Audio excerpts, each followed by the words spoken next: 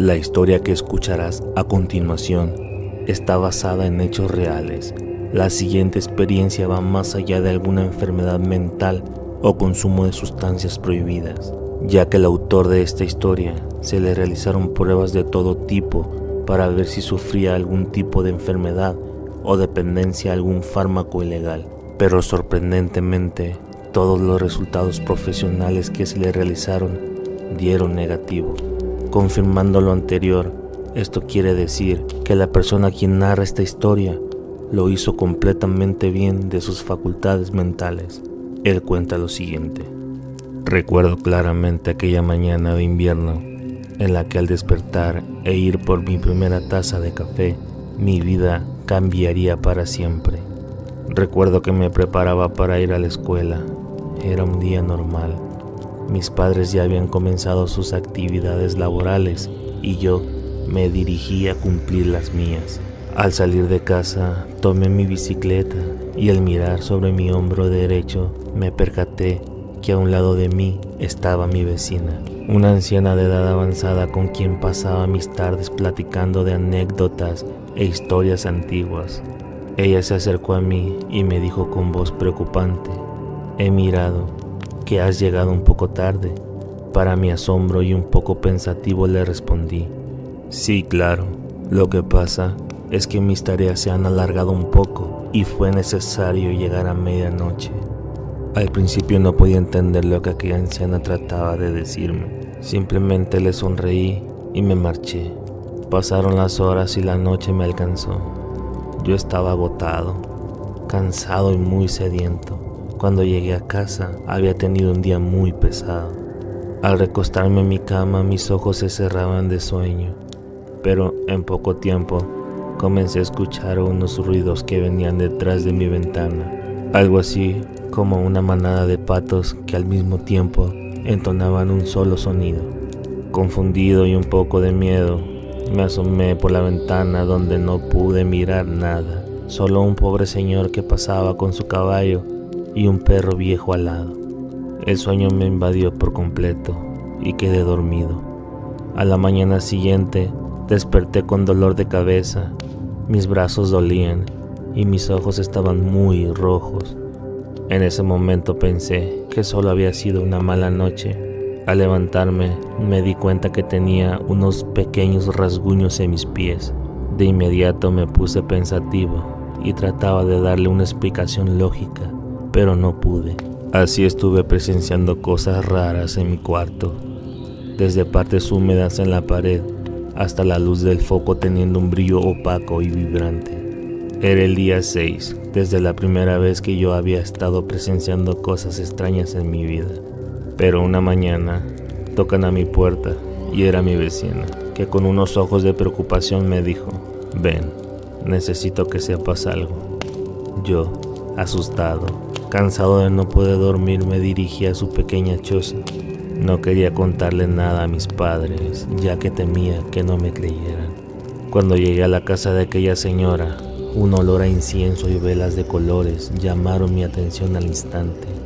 Sus palabras hicieron un nudo en mi garganta, a lo que ella me dijo, ¿recuerdas aquella noche en que llegaste tarde a casa?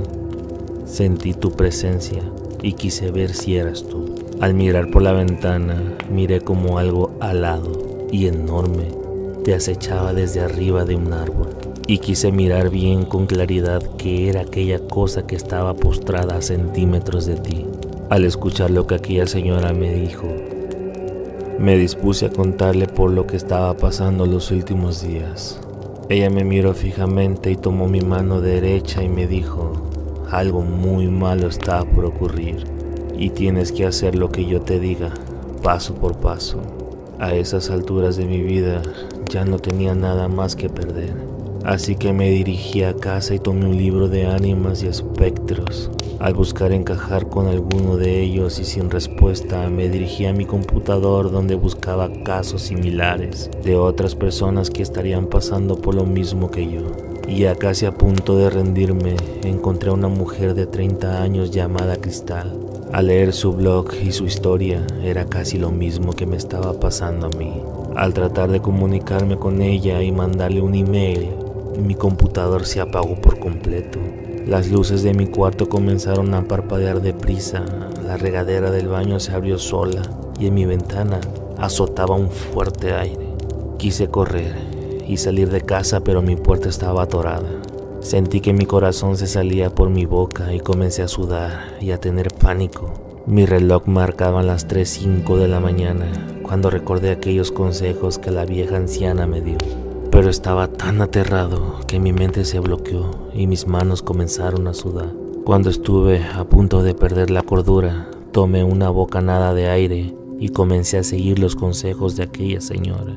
El primero fue, no grites. Fue muy difícil no hacerlo, ya que cada vez más y más cosas estaban sucediendo. Cerré mis ojos y me contuve de gritar cuando el miedo me estaba venciendo. Recordé el segundo consejo que fue, no te muevas. Mi cuerpo se paralizó y mis piernas comenzaron a temblar.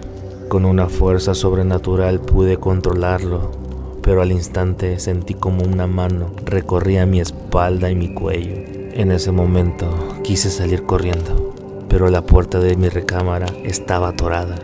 Por más de unos segundos esa sensación no paró. Cuando miré de reojo una sombra que se acercaba a mí, recordé el último de aquellos consejos. No mires. Cerré muy fuerte mis ojos, pero sentí aquella presencia. Sentía el latido de mi corazón en mis manos y un frío en mis músculos. Por fin, después de algunos minutos, todo se tranquilizó. Abrí la puerta y salí corriendo pero el reloj ya marcaba las 4 de la mañana. Las calles estaban solas y oscuras. En ese momento no sabía qué hacer. Decidí ir a buscar a la anciana para contarle lo que había pasado, pero ella no estaba en su casa. Al volver a mi hogar, lo miré. Estaba frente a mí. Era ese espectro que me estaba aterrando por varias noches. Sus alas eran muy grandes y su cabeza como la de un buitre me miró fijamente, a un paso de mí, y en voz fuerte le pregunté, ¿qué quieres de mí? Se acercó un poco más y me dijo, te he mirado por varios años, cada día, cada noche que pasa. Te miro al dormir y te miro al despertar. Te sigo a cada paso que das. Me presento, soy la histeria, soy la ira, soy tus miedos y tus fracasos. Y lo que quiero es tu alma ya que a diario te quejas de todo, de que tu vida es una mierda, te quejas porque respiras y hasta si sopla el viento. Vamos, es hora de marchar. Tomó mi mano y cuando abrí mis ojos estaba encima de una nube, mirando todo con calma. Todos dormían y todo estaba en silencio profundo. En ese momento me pregunté si estaba vivo o muerto. Aquella criatura me llevó a un lugar que no conocía. Era un gran campo de flores de cempasúchil y en el medio un árbol enorme. La mitad de ese árbol era verde y frondoso. Colgaban de allí frutos maduros. Hasta un canario amarillo vivía allí. Pero la otra mitad del árbol estaba seca. Solamente colgaban un par de hojas que estaban a punto de caer por el viento. En el suelo yacían un puñado de frutos descompuestos y moscas alrededor. En ese momento mi mente estaba muy confundida y le pregunté al espectro qué hacíamos allí. Él respondió, ese árbol representa tu vida, lo bueno, lo malo. Y en el suelo, cada flor es una oportunidad de reparar tu otra mitad. Tú decide. Reivindica tu vida, solo tendrás otra oportunidad de vivir, no la desperdicies. Te estaré vigilando cada día y cada noche hasta que tus pensamientos y tu comportamiento sean los adecuados. Pero si no cumples con ello, vendré por tu alma y habrás perdido tu última oportunidad. A la medianoche, cada vez que suene el reloj, yo estaré más cerca de ti, casi sentirás mi aliento. Solo recuerdo que abrí mis ojos y desperté mi cama, confundido pero con certeza de lo que tenía que hacer. Salí a buscar de nuevo a la anciana y la encontré sentada en su vieja mecedora tomando una taza de café. Me miró y me dijo, eres afortunado muchacho de haber librado esa gran prueba, pero aquí no se termina.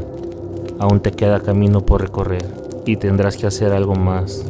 Tus miedos son el desperfecto de tu vida, son tu parte débil. Sé fuerte al caminar, al escuchar y al reír. y sé fuerte al soñar. Después de un tiempo, mis ideas y mi vida tuvieron un giro inesperado. Por fin todo volvió a la normalidad, superando mis miedos y mis debilidades. Tengo que seguir fuerte en la vida ya que la experiencia que tuve con ese espectro y todo lo que había vivido solo fueron pruebas de mi destino para cambiar las cosas malas que estaban cometiendo. Ahora que soy un hombre mayor, mi vida es diferente. Después de la muerte de aquella anciana, solo me quedaron sus enseñanzas y sus consejos. Y aquel espectro que algún día me perseguía, para todos lados solo quedó el recuerdo y la advertencia de que algún día volvería. Si te gusta el terror, te agradecería mucho que le dieras manita arriba, que te suscribieras si aún no lo has hecho y que actives la campanita para estar actualizado cada vez que subo video. Otra historia más para los archivos del Averno.